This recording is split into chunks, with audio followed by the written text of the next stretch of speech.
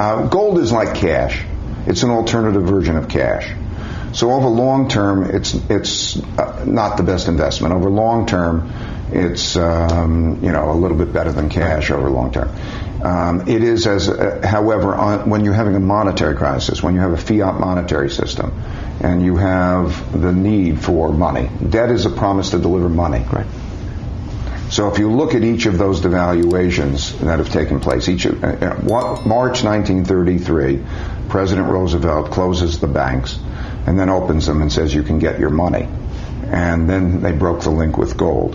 And so the history over that period of time is that uh, money uh, can be produced. Gold is somewhat limited. It's an effective, it's a, it's, it's, it's an alternative that should be part of everybody's portfolio, but not in a big way.